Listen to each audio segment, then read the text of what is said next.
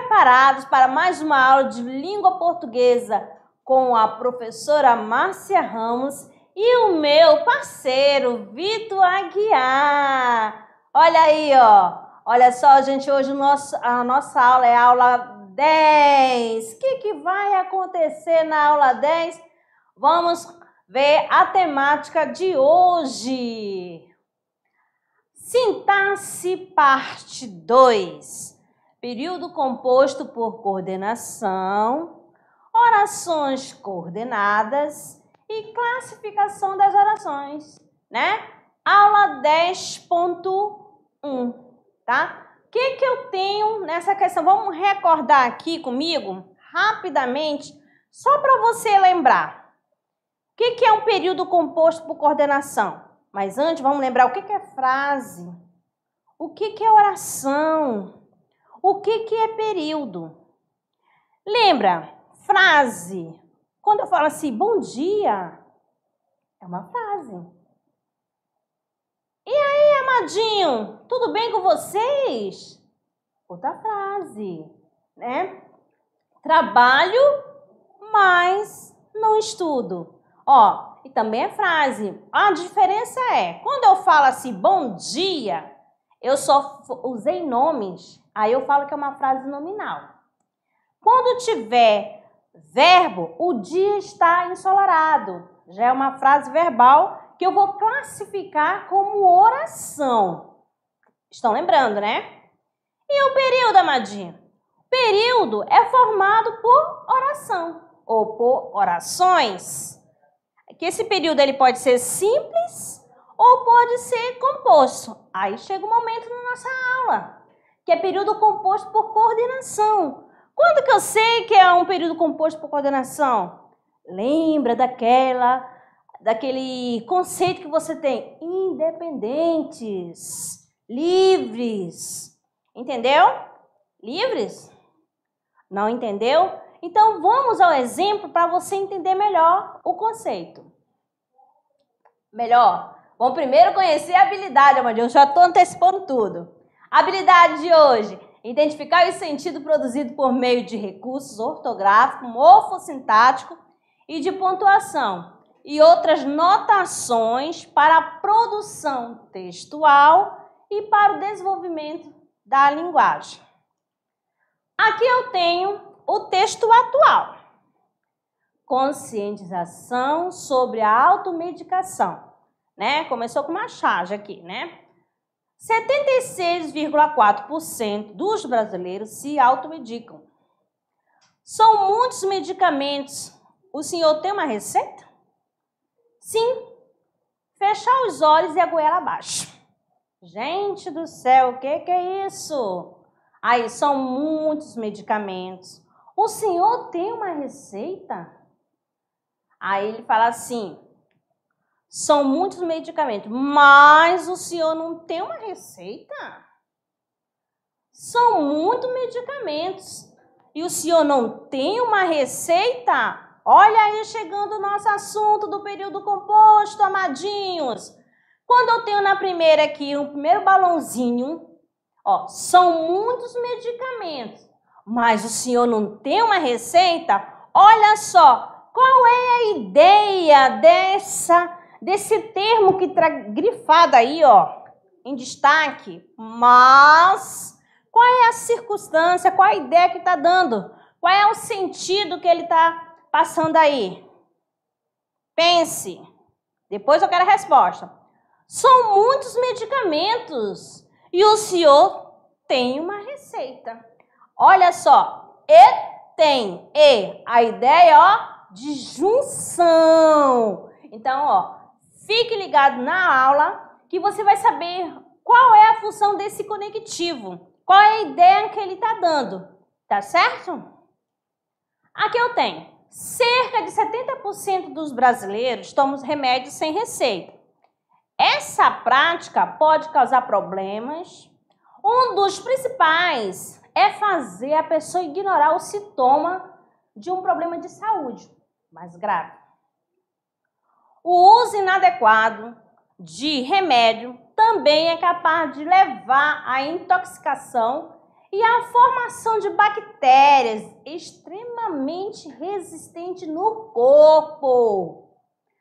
A lentidão do SUS e o preço elevado das consultas estimulam a automedicação. Muitas pessoas não consideram a avaliação do médico importante para o diagnóstico, os 18%. Além disso, a busca por doenças e medicamentos na internet é elevada. 9% acreditam que a pesquisa online é mais eficiente do que o atendimento médico. Os dados são de um estudo feito pelo Instituto de Ciência Tecnologia e Qualidade, ICTQ, divulgado pelo portal G1. Olha só, Madrinho, fique ligado aí nas atualidades, né? Nos textos é, de revista, de site. Ó, atualidade, fique ligado porque pode ser um tema para a nossa redação no Enem. Olha aqui. Outra aqui que eu tenho que mostrar para vocês, falando da questão das orações coordenadas, né? Lembra daqueles dois exemplos que eu coloquei lá? Tanto usando o conectivo e e o conectivo mas, né? Que são conjunções. Vocês já viram em outras aulas sobre as conjunções coordenadas, né? Coordenativas também, que pode vir com essa nomenclatura. Aí eu trouxe aqui esse, essa frase, né? De Benjamin Franklin toma conselhos com vinho, mas toma decisões com a água. Gente, o que, que ele quis dizer com isso? Toma conselho, conselho com vinho, mas toma decisões com a água. Que ideias são essas? Qual é a ideia que se traz aí? Então, essa questão assim, mas, ó, uma ideia o quê? Ao contrário, uma oposição, né? Então, lembra lá daquela primeira que eu falei da medicação, né? Então, esse mais aí tá dando uma ideia oposta de oposição. Então, quando aparecer o mais, mas você, ó, na oração, você vai ter que ter esse cuidado. Qual a ideia que ele está transmitindo? Qual é o sentido desse mais? Então, aí é de oposição. Então, esse mais é uma conjunção adversativa. Certinho? Vamos lá. Continuando. Olha só, quem que não gosta, né? Quem que não já viu, já não viu, né? Na verdade, na carroceria, né? É, de caminhão, de carreta. Olha só, as frases. Casei-me com Maria, mas Viajo com Mercedes. Gente, o que que é isso, amadinhos? Como assim? Vou deixar no ar, vocês vão interpretar. Viva a sua vida e deixa a dos outros. Viu só? Vou grifar aqui no quadro para você perceber, né, na, na, na frase, né, essa questão, só um pouquinho aqui. Aqui você vai ver que nessa primeira, tá bom? Na primeira, no, do caminhãozinho aqui, ó, eu tenho este mas. Casei-me com Maria, mas viajo com Mercedes. Né? Claro que ele está fazendo uma brincadeira da questão de Mercedes, quer dizer uma marca, né? né? É, do veículo automobilístico, né? Mercedes, caminhão. Vocês já sabem disso. Ó, viva a sua vida e deixa dos outros. Ó, outra aqui também, né? Outra conjunção. Então, essa conjunção aqui, né? Dando ideia de oposição. Qual é a, o conectivo que dá ideia de, de oposição, amadinho? Lembra lá das conjunções coordenativas? Ale, lembrou? Muito bem, é adversativa, ideias opostas. E esse ezinho aqui tá juntando, né? Tá somando, né? Fazendo uma relação de adição, eu já falei tudo. Se é adição, é aditiva, ideia de soma, né? A primeira oração com a outra, ideia de soma. Mas quer dizer assim, quando eu lembro do período composto por coordenação, quando eu falo bem assim, viva a sua vida, pronto, já passei a mensagem. Deixa dos outros, já passei também a mensagem. Então elas são independentes, elas são livres sintaticamente, tá bom? Não esqueça disso, tá bom? Por que, que eu falo que viva a sua vida e deixa dos outros é um período composto por coordenação? Quando que eu sei que é período composto? Pela presença do verbo amadinho. Olha só, vou ter que falar que isso aqui é um verbo, viva é um verbo e deixa também é um verbo. Aí a outra. Casei-me. Vou fazer no vizinho para não. Casei-me e viajo. Olha só, então, período composto por coordenação. Facilitou? Claro, amadinha. Esse assunto é maravilhoso, né? Vamos lá, dar sequência aqui. Aí eu tenho as orações coordenadas, né? Período composto por coordenação é aquele construído por orações sintaticamente independentes, que se apresenta organizada em uma sequência. Em termos da significação, cada uma delas vale por si e o sentido do período pela soma de todas. Ok? Grifando para não esquecer, aqui ó, sintaticamente independente. Quem? o período composto por coordenação.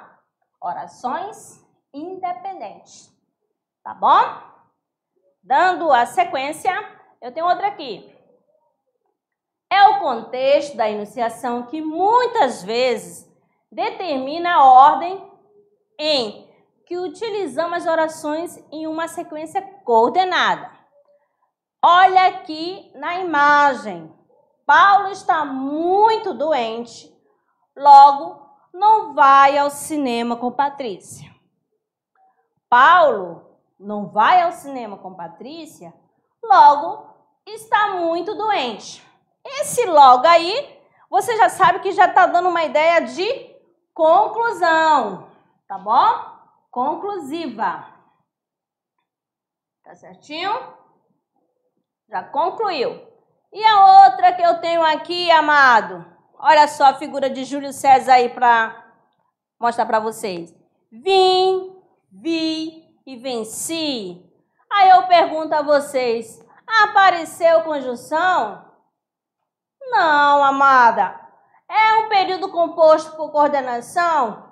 Sim, amadinho. Por que, professora? Eu falo vim, já passou a mensagem. Se eu falo vi, já passou a mensagem.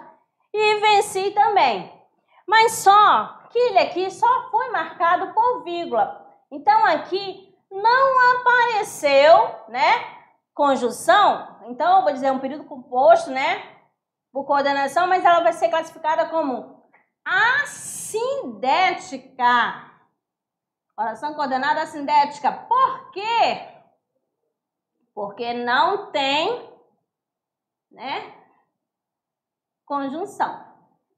Bom, não aparece conjunção. Não aparece o conectivo, tá bom? O conectivo. Beleza? O conectivo é quem? A conjunção. Tá bom? Certinho? Aqui. As orações coordenadas são classificadas em sindética e assindética. Acabei de falar lá, né? Então, olha aqui. Quando que é sindética? São as orações coordenadas introduzidas por conjunção, né? Aí eu começo aqui. Deve ter trabalhado à noite pois os slides estavam prontos. Isso acontece com todos os professores, né, amadinhos? A sindética. São as orações coordenadas que não são introduzidas por conjunção. Tudo passa, tudo corre. É a lei. É o mesmo exemplo que aconteceu com vim, vi, venci, né? E agora tudo passa, tudo pode, né? Aí, ó, não apareceu conectivo, a sindética. Apareceu conectivo, aí você vai observar em, em como ela vai se classificar. Mas para você ver, não precisa decorar as conjunções, você vai olhar e vai perceber qual a ideia que está dando essa frase, nessa oração. Tá bom? Ah, continuando. As orações coordenadas sindética, né?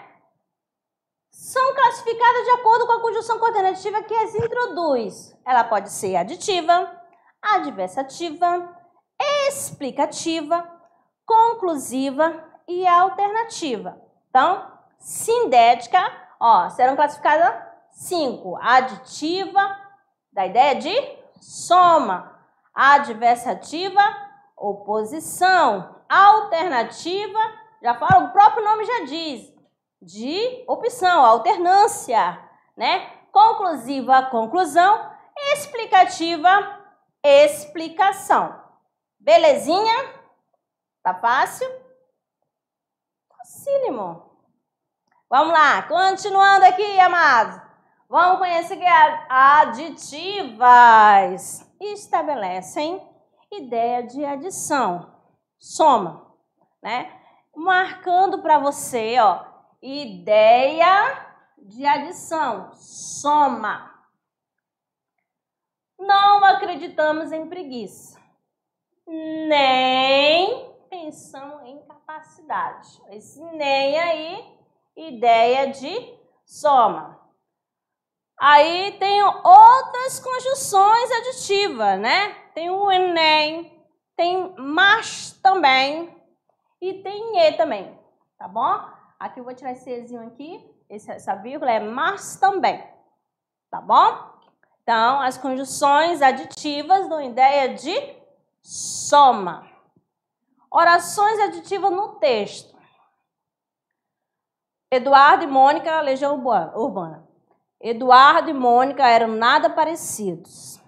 Ela era de Leão e ele tinha 16. Ela fazia medicina e falava alemão. E ele ainda nas aulinhas de inglês. Então, amadinho, olha só, apareceu aqui na letra da música, tá? Aqui ela está ligando as orações e aqui ela está ligando termos com a mesma função, tá bom? Se a gente for analisar com calma aqui, você já sabe que aqui Eduardo e Mônica nada precisa. Então, vou dizer que aqui, ó, eu tenho um sujeito, né?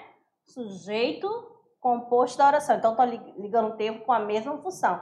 E aqui embaixo já está ligando orações, que essas orações são o quê? Faz parte do período composto, né? Aqui, nessa primeira, eu vou classificar como assindética. Por que, amadinha? Porque não tem a conjunção. Já na segunda, eu vou colocar oração coordenada sindética aditiva. Por que aditiva? Porque esse E está dando ideia de soma certinho? E assim vamos continuando a nossa aulinha. Aí eu tenho aqui, amado, adversativas. Qual é, qual é a função de adversativa? Ó, estabelece que oposição. Muito bem. Olha o exemplo. Gostaria de te gostaria de ter viajado, mas não tive férias. Olha só a oposição aqui, ó, introduzindo aqui a oração, né? A relação dessa segunda com a primeira é de oposição. Já eu tenho aqui quais são as condições coordenadas adversativas, né? Ó, mas Porém, todavia, contudo, entretanto, no entanto e outras mais. Tá bom? Deu ideia de oposição? Eu tenho oração, né? Coordenada sindética adversativa. Olha a adversativa no texto. Música, para ser sincero, engenheiro da Bahia. Ó nós dois temos os mesmos defeitos, sabemos tudo a nosso respeito. Somos suspeitos de um crime perfeito, mas crimes perfeitos não deixam suspeitos. Olha só, aqui está em destaque, né, esta partezinha aqui, né, onde aparece a conjunção adversativa. Alguma pergunta? Não, né, amadinhos? Vamos dando sequência. Ó, uma pausa aí, ó. Lembra do caderninho de vocês, do bloco de anotação? Vou falar assim, bloco de anotações, porque não é só uma anotação, tá? Várias. Então, vai anotando os macetes que eu tô passando aqui, tá? As dicas, fique ligado aí, amadinhos. Aqui alternativas, né? Quando que eu tenho, né? Quando eu sei que é alternativa, você vai ficar ligado na conjunção que aparecer. Estabelece a ideia de alternância. Como assim, amadinha? Vamos lá. Siga os exercícios ou pesquise mais informações. Ó, tá te dando, né, uma alternativa. Ou pesquise, ou dando uma opção, opção. Tá certo? Ó, são as conjunções alternativas.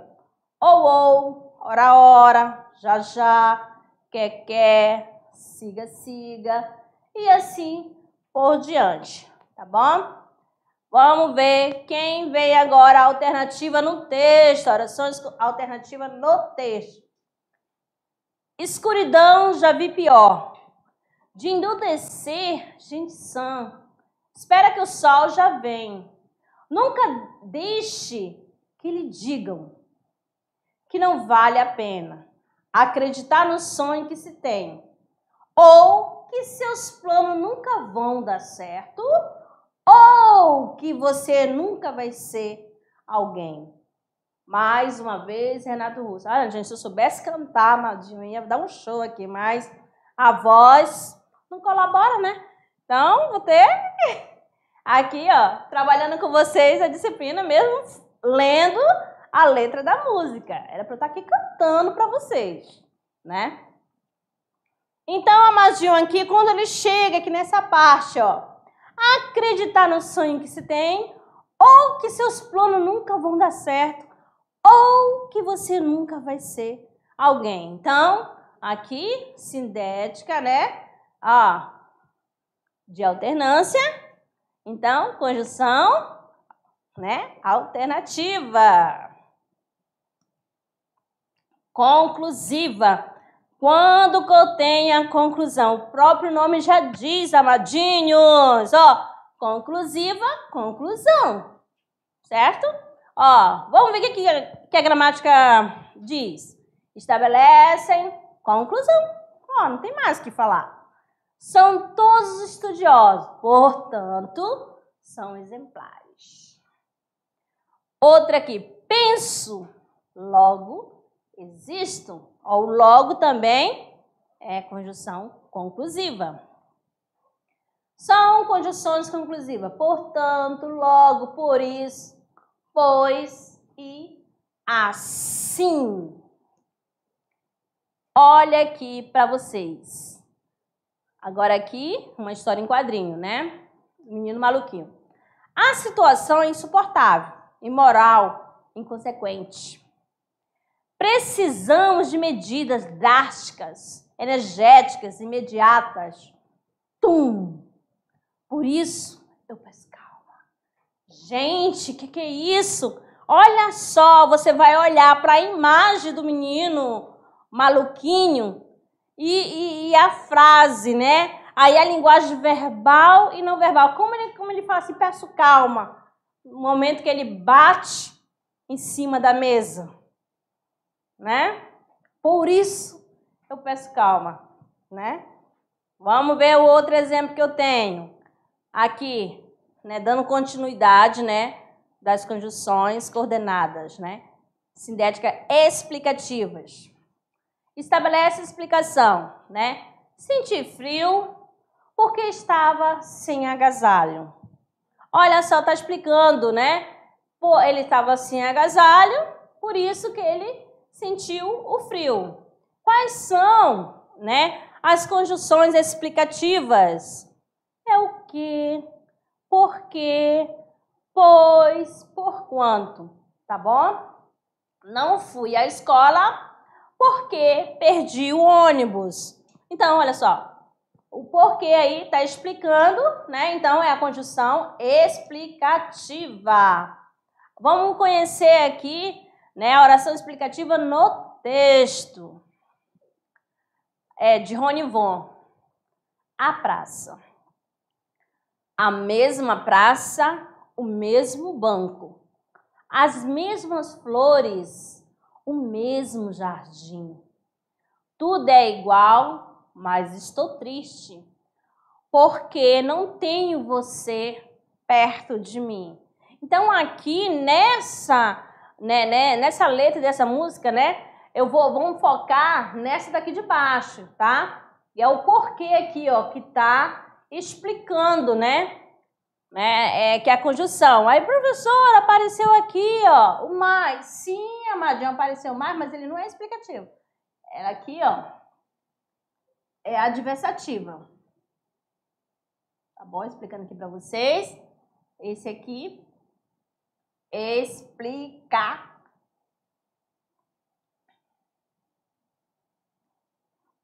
né? No caso, está explicando esse porquê aí.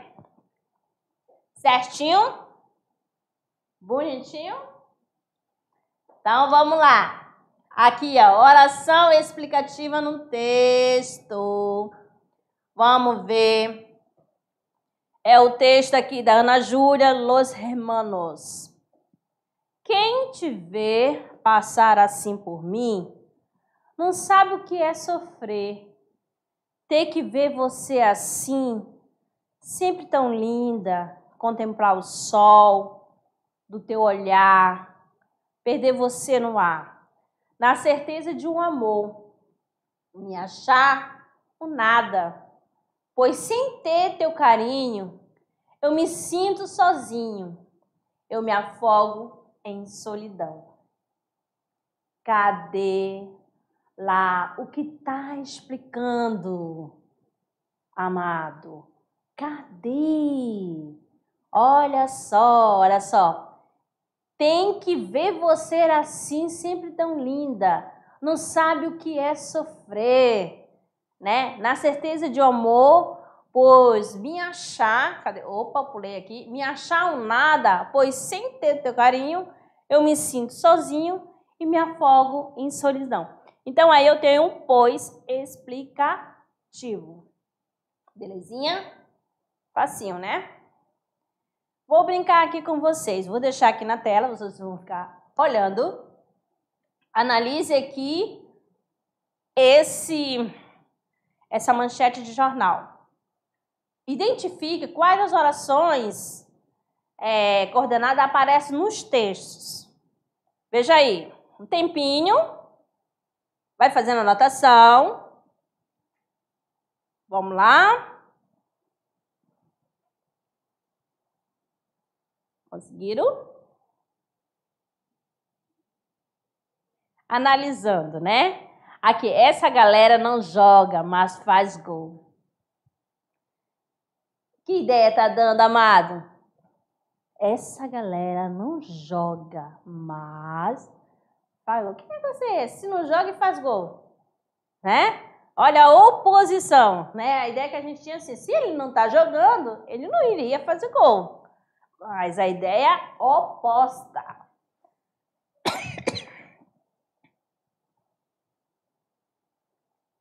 Continuando aqui, né? Desculpa aí. Essa galera não joga, mas faz gol, amados. Ó, se ele não joga, ela não joga, mas faz gol. Olha a ideia de oposição, ideia oposta. Esse maisinho aí, o que, que eu falei que ele era? Sim, amado, muito bem. É uma conjunção adversativa. Por que, é uma conjunção adversativa? porque está dando uma ideia de oposição. Tá bom? Vamos lá! Eu tenho outra aqui. Se as coisas são feitas para serem usadas e as pessoas para serem amadas, Por que as coisas. Não, por que amamos as coisas e usamos as pessoas? Gente, o que, que é isso? Né? Aí você vai ver aqui, você vai ver logo em seguida, aqui, se as coisas são feitas para serem amadas e as pessoas para serem amadas. Por que amamos as coisas e usamos as pessoas? Então aí você tem aí, amadinho, né? O E está juntando duas ideias, né? Que é uma ideia de quê? De soma, de adição, adversativa. Mais outra aqui. Olha só. A preguiça é a mãe de todos os vícios. Mas uma mãe é uma mãe. E é preciso respeitá-la. E aí, amadinhos, esse mas, mas, aí, adição, tá? Esse daqui já foi uma questão, né, do Enem, já uma, não sei se foi do Enem de 2012, 2013, já constou, tá? Usando essa tirinha aqui, essa imagem, na verdade. Aqui eu tenho outra para você, analisar também junto comigo, tá? Por isso que fala, a hora do quiz, a hora da, da, da pergunta, né? Do questionamento, para tirar dúvida, tá? A vida transcorre entre o sucesso e o insucesso. É importante que o adolescente enfrente adversidades, fracassos e frustrações para que possa, segundo a canção popular, sacudir a poeira é, e dá volta por cima. E agora, amado, qual é a conjunção que se encaixa aí? A conjunção que introduz uma ideia de conclusão é é por quanto, portanto, porém, pois, contudo, com quanto. Qual é a alternativa? É claro, né, Amadinho, que é a letra A, né? Portanto, a ideia de conclusão está concluindo, né? Ainda há pouco a gente falou aqui. Dando sequência, eu tenho outro questionamento aqui para vocês. Os pais incentivaram os filhos para a leitura. Estes, contudo, pouco leram. A conjunção, que você já sabe que é contudo, grifando aqui, né? Expressa a ideia de conclusão, oposição, alternância ou explicação? Muito bem. É de oposição, né? Ó, contudo, né? Então aí você já sabe, você tá vendo aí, ó, que esse contudo aí eu posso é, trocar por porém, por mais, no entanto, tá bom? Mais uma. Agora aqui, vamos ver o sentido, na verdade, a polissemia das conjunções. Às vezes, como eu falei, às vezes não precisa você decorar. Você vai prestar atenção na semântica, no sentido que ela traz, tá bom? Mas aí você vai dizer o que, que é polissemia. Ah, então, vamos ver aqui, ó. Ó, isso indica que para classificar uma oração coordenada não basta decorar os tipos de condições. É necessário analisar todo o período, percebendo as relações que ali se estabeleceram, tá bom? Ó, mas às vezes decorando ajuda, né? Você está fazendo aquela relação, mas aí você releia sempre a frase, né? E vai ver qual o sentido que está dando. Tá bom? Qual é o sentido? Será que realmente eu, se, eu, se eu usar o E, sempre ela será de adição? Se eu usar o mais ou porém, sempre vai dar ideia de oposição? Olha só que eu trouxe para vocês. Polissemia das conjunções aqui, ó. Eu trouxe o mais e trouxe o E. Mostrando aqui para vocês o seguinte, ó terá o descanso, mas apenas uma semana. A ideia de restrição. entrou numa faculdade particular, mas arrependeu-se fez cursinho novamente. Aí já está retificando. A retificação. Estava nervoso, mas dissimulada, com um sorriso forçado. Atenuação. Não só é aplicado, mas inteligente. Não coloquei aí, mas é oposição. Ou melhor, oposição não, soma. Não só é aplicado, mas inteligente. Eu poderia trocar pelo E aí. Não só é aplicado e inteligente. Ou mas também inteligente, para ficar melhor para combinar, tá bom? Agora com o E.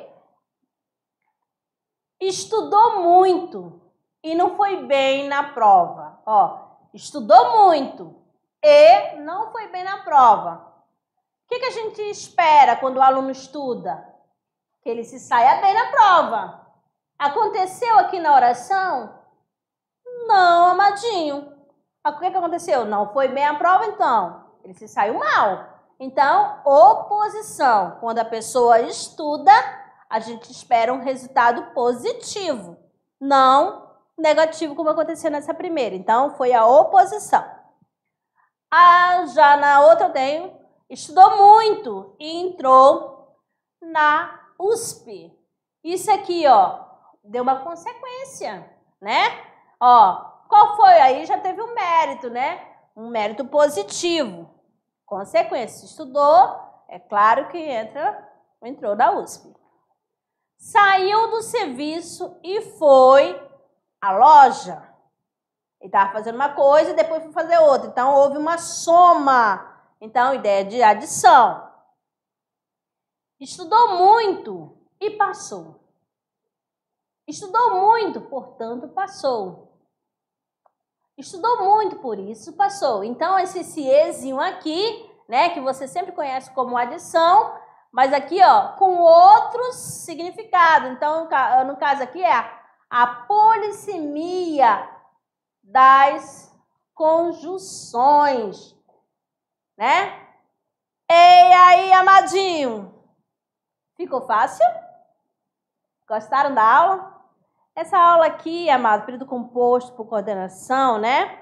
É maravilhosa, né? Você vai rever outras aulas, né? Aquela aula que fala das conjunções coordenativas. Você, você vai relembrar vai ver as anotações que vocês fizeram e para resolver as atividades, tá certo? Daqui a pouco a gente retorna com a nossa revisão.